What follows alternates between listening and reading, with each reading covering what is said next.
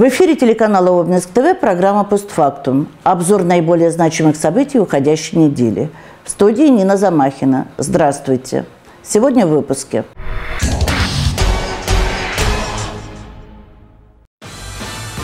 «Рязань наш». Такой хэштег появился в соцсетях после сообщения о назначении Николая Любимова исполняющим обязанности губернатора Рязанской области. Отчитался перед горожанами. Глава Обнинской администрации Владислав Шапша выступил с ежегодным итоговым докладом перед городским собранием, а затем и перед жителями Наукограда. Образование получили в Обнинске. Прошла церемония вручения дипломов выпускникам ИАТ, приехавшим на учебу из Вьетнама. Получили заряд бодрости. Более 600 участников вышли на старт соревнований «Лыжня Обнинска-2017», прошедших в воскресенье.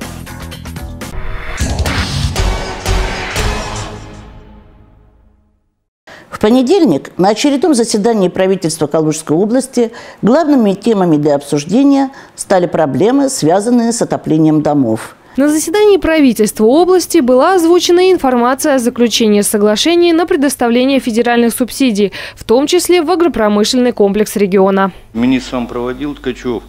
До 15 числа у нас все нормативные документы подготовлены. Э, буквально, Анатолий сегодня, завтра мы начнем уже соглашение по э, молоку мы уже подписали с Министерством сельского хозяйства. Мы были ну, пилотным проектом, потому что идет сейчас вот именно новое условие соглашения. Так что у нас буквально день-два, Анатольевич, мы уже... Тема тепла в этом сезоне стала горячей. На телефон колл-центра Государственной жилищной инспекции поступило много жалоб от жителей региона по поводу тепла и водоснабжения. К дому тепло подается, а в доме, тепло, э, в доме в квартирах холодно, ну разберитесь. Сам дом должен, должен, там есть старший, там есть управляющая компания. Уже давно пора к этому подходить. Все. Социализм закончился. По прогнозам, из-за большого количества выпавшего снега в случае резкого потепления некоторые из населенных пунктов области могут быть потоплены. А в связи с увеличившимся количеством калужан, заболевших гепатитом А, будет закуплена профилактическая вакцина на сумму 2 миллиона рублей. Евгения Борода, Максим Сичко, Обнинск ТВ, Калуга. В ходе заседания губернатор Анатолий Артамонов представил коллегам председателя нового состава молодежного правительства Калужской области. Им стала студентка Калужского филиала Российской академии народного хозяйства и государственной службы при президенте России Наталья Букалова. Наталья, мы ждем от вас инициатив. В состав областного молодежного правительства вошла и сотрудник телекомпании «Обнинск ТВ» Екатерина Замахина, получившая портфель министра внутренней политики и массовых коммуникаций. А студент медфакультета ЯТ Александр Таратин занял пост министра здравоохранения. Напомним, молодежное правительство области – это консультативный орган, созданный при губернаторе для привлечения активной молодежи к решению задач, стоящих перед органами исполнительной власти. В новом составе правительства 14 человек, среди которых есть как школьники, так и молодые специалисты. Правительство, состоящее из молодых людей в возрасте от 14 до 30 лет, сформировано уже в девятый раз.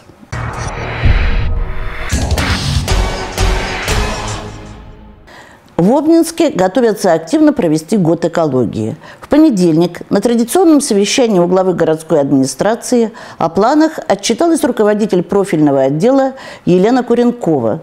Впрочем, помимо субботников и конкурсов, у города есть в этой сфере и более глобальные задачи, отметил Владислав Шапша. Ну, на самом деле э, экология э, этим не завершается, не ограничивается. У нас еще есть проблемы, связанные с продлением службы нашего полигона. Тоже очень серьезная и дорогостоящая проблема. И э, здесь хотелось бы, конечно, упомянуть и то беспо... о том беспокойстве, которое жители некоторых города выражают, высказывают по поводу судьбы Гурьянского леса. С Гурьянским лесом у нас все в порядке, и ближайший субботник должен быть весной проведен массовый продвинется в реализации и проект Парка Победы на проспекте Маркса. Эту зеленую зону Владислав Шапша предложил сделать еще зеленее. Летом здесь будут высажены деревья. Традиционной весенней темой стала и подготовка обнинских спасателей к паводку. И проинструктирую всех огородников, которые, у которых участки под, э, подтапливаются, чтобы они были готовы. Наши службы готовы, проверены. Вы э, несколько раз уже организовали, надо в этом году продолжить такую практику, вывозить в момент открытия на плотину людей, э, ну, руководителей, да, председателей этих обществ, чтобы они видели, что уже подтопление снизу приходит, и мы открываем плотину, когда уже, в общем-то, уровень воды э, вровень становится с той водой, которая выше плотины. Никакого подтопления из-за открытия плотины непосредственно не происходит. Хорошо, спасибо. Обсудили на совещании и итоги выходных. В городском слете приняли участие более 700 обнинцев, а победу в традиционном состязании одержала команда «Жгучие красные перцы». Отличился Обнинский в лыжном спорте. Акцию «Лыжня России» поддержали около тысячи горожан. Завершая встречу с подчиненными, Владислав Шапша сказал о грядущем отчете руководства администрации перед городским собранием. Итоги работы за прошлый год он подведет уже во вторник.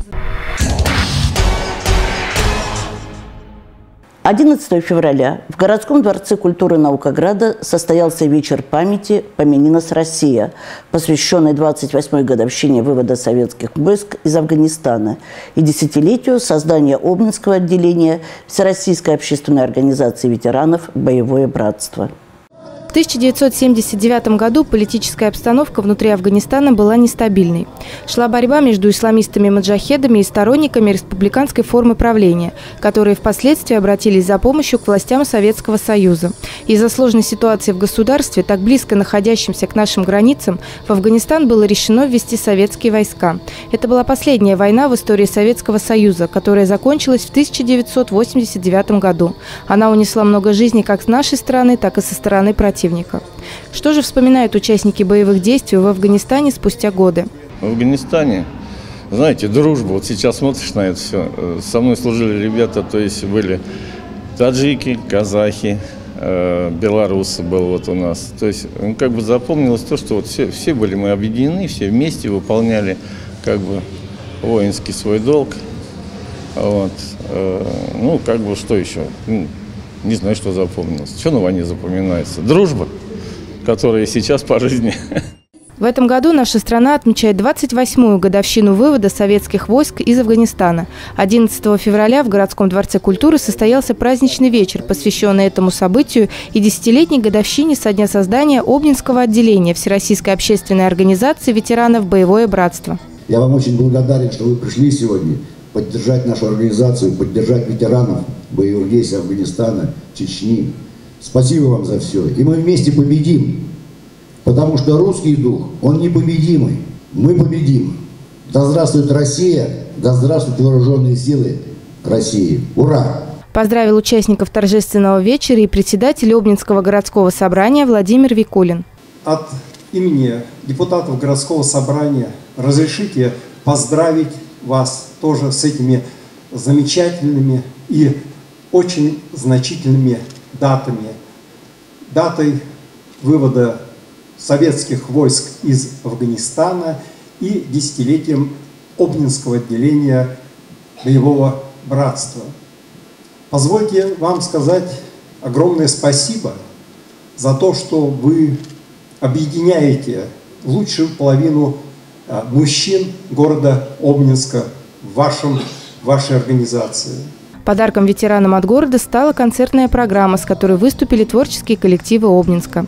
Яна Гончаренко, Сергей Мокрецов, Обнинск ТВ.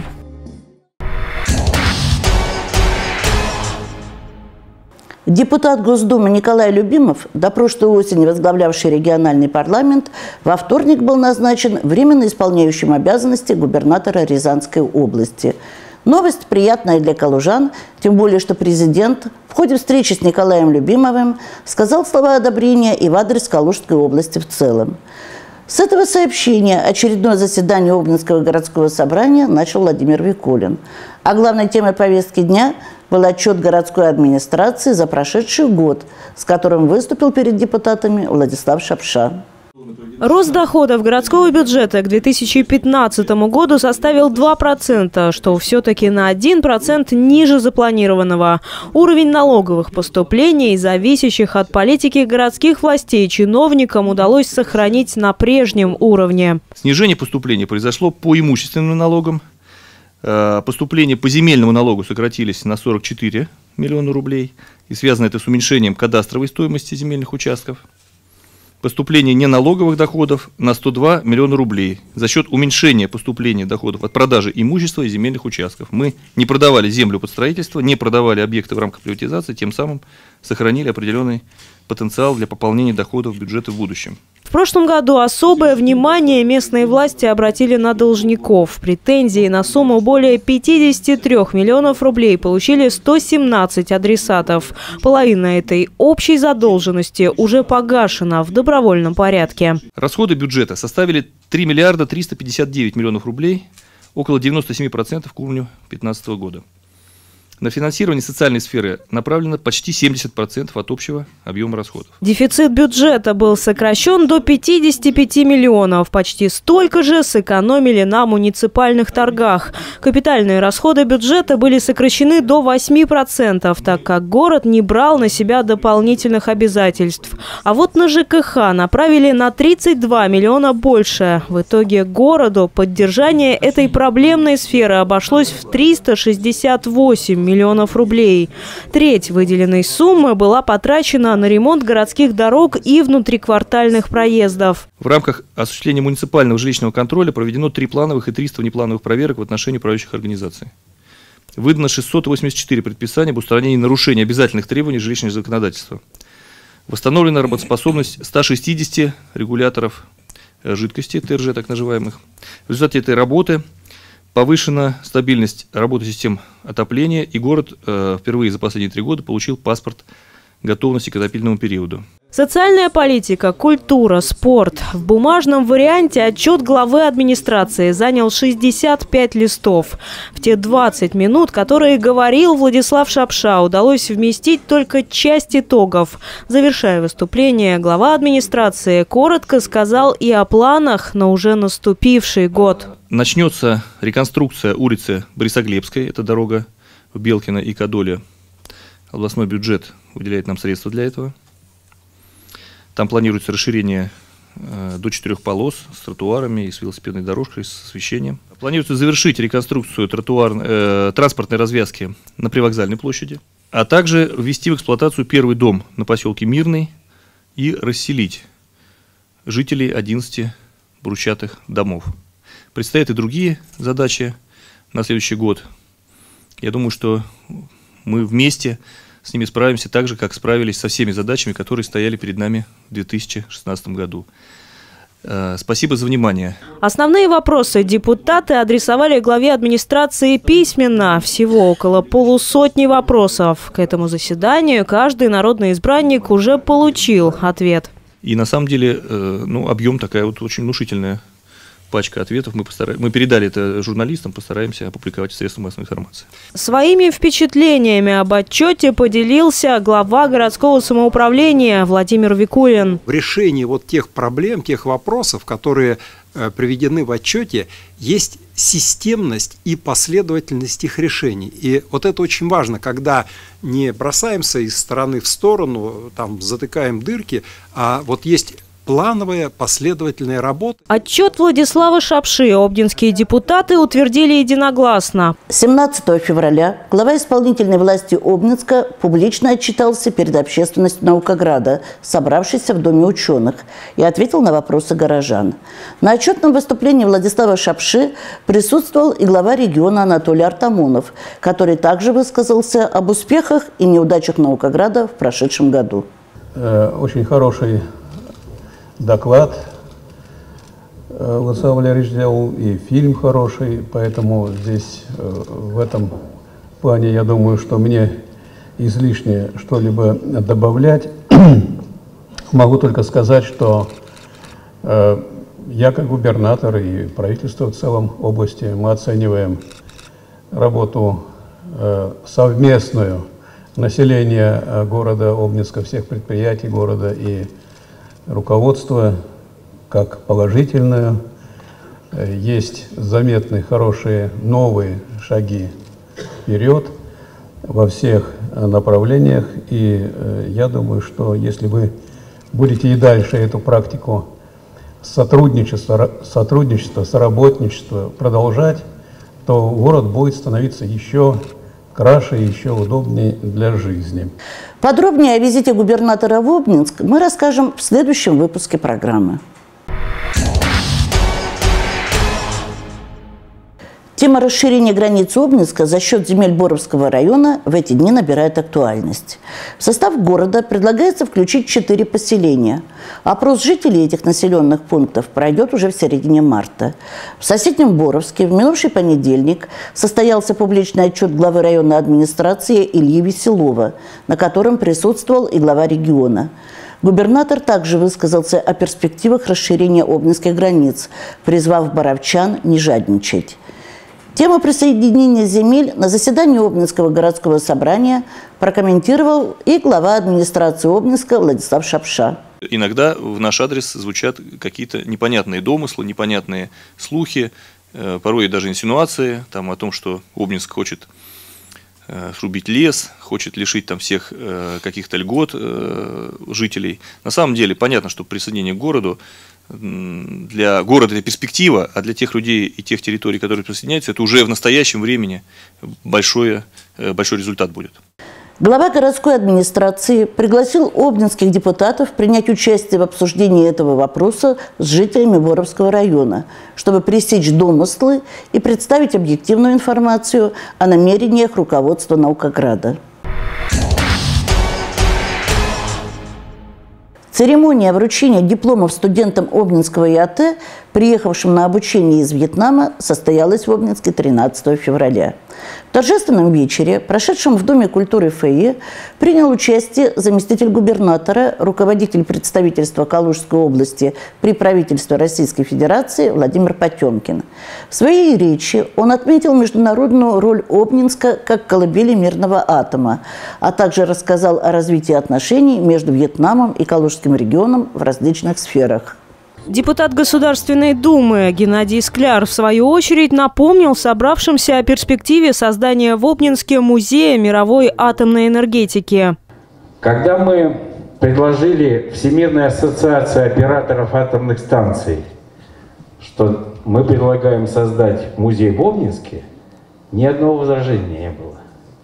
И это не только потому, что мы первыми это сделали, а потому что все последние годы Корпорация «Росатом» продемонстрировала всему миру, что самая эффективная, самая надежная атомная энергетика – это та энергетика, которую создают русские – Геннадий Скляр также выразил надежду, что в Музее мировой атомной энергетики найдет свое место и информация о развитии этой отрасли во Вьетнаме.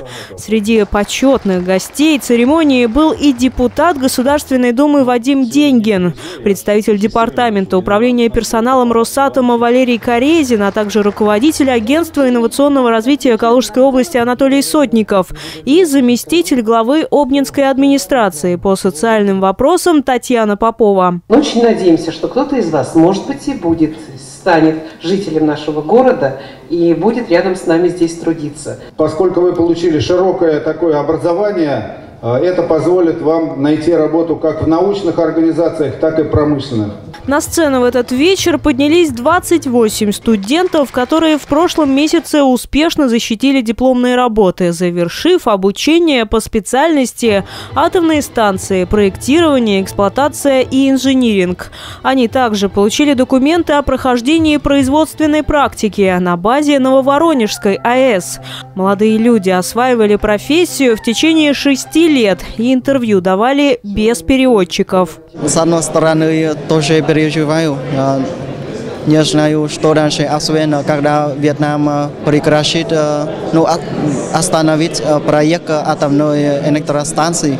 Но я думаю, что это то, с одной стороны, я могу работать не только в атомной энергетике, а в другой области, особенно тепловой энергетики, потому что есть очень общий характер Впрочем, с планами на ближайшее будущее инженер-физик уже определился. Фам Ван Туен решил остаться в России, чтобы окончить аспирантуру. Екатерина Замахина, Шахноза Малаева и Алексей Резвых. Обнинск ТВ.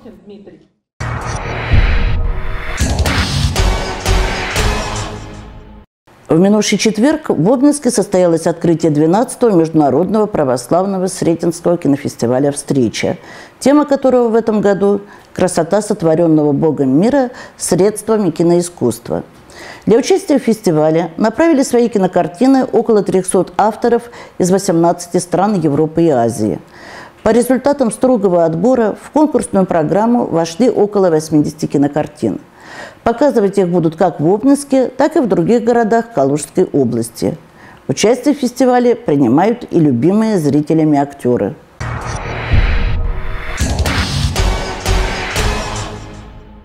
И о спорте. Более 600 человек приняли участие в соревнованиях «Лыжня Обнинска-2017». Старты проходили в воскресенье на территории городской лыжероллерной трассы. Наш спортивный обозреватель Николай Хнычков убедился, что все вставшие в этот день на лыжи получили заряд бодрости и энергии. Лыжня Обнинская – это прежде всего массовое соревнование для любителей лыжного спорта. Основной своей целью вышедшие в этот день лыжню считают не достижение каких-то рекордов и высоких результатов, а олимпийский принцип – главное – участие. К чести организаторов надо сказать, что справились они со своими задачами, все было четко организовано и без лишней суеты. Старты хотя и массовые, но спортивную составляющую никто не отменял, и борьба на трассе была жесткой. Наиболее подготовленные гонщики выступили чуть раньше массовых забегов, и удивительный случай произошел в гонке на 10 километров у мужчин. Валерий Петров и Иван Лавров одновременно пересекли финишный створ, и победителя в этом виде программы мог бы определить только фотофиниш. Но за неимением такового первое место было присуждено обеим спортсменам. Для воспитанника Обнинской спортивной школы «Квант» Ивана Лаврова это далеко не первый подиум в сезоне, но в столь суровом противостоянии достигнут впервые – побоялся не рассчитать сил и вдруг не хватило бы на финише. Вот. Я не стал рисковать. Следующий старт оказался очень забавным.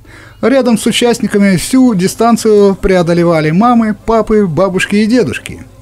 Фотофиниш здесь не понадобился, но до самого финиша не было понятно, кто будет первым, мальчик или девочка. Победу праздновал мальчик. Как тебе бежалось-то? Отлично. Отлично. И ты? Победил. Поздравляю.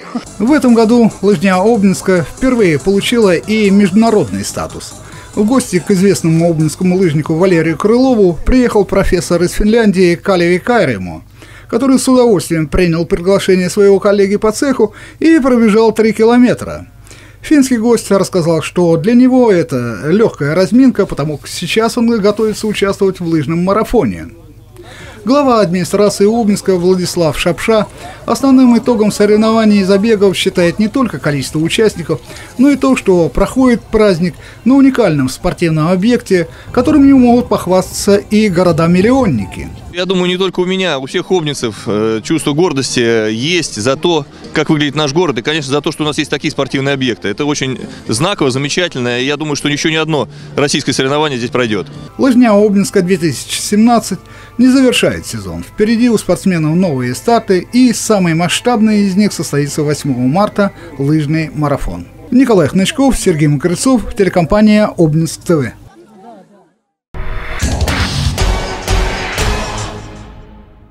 И это все, о чем я и мои коллеги хотели рассказать вам сегодня. Как всегда, программа «Постфактум» выйдет в эфир ровно через неделю. Мы желаем вам только хороших новостей. Всего доброго. thank you